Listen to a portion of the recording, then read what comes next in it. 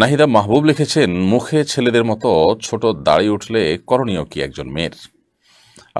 যদি ছেলেদের মতো এরকম দাড়ি উঠে এবং সেটি আপনার রীতিমতো দৃশ্যমান থাকে, তাহলে সেক্ষেত্রে সেটিকে রিমুভ আপনি করতে পারেন। সেটি বিউটি পার্লারে গিয়ে হোক, কোনো ডাক্তারের কাছে গিয়ে হোক, অথবা আপনি নিজে সেটাকে ফেলে দিতে চান, যে কোনো মূল্যে আপনি এটাকে ফেলে দিতে পারেন উফড়ে ফেলতে পারেন, যাতে আর না উঠে সে ব্যবস্থা নিতে পারেন। কারণ একজন মেয়ের সাধারণত দাড়ি উঠে না।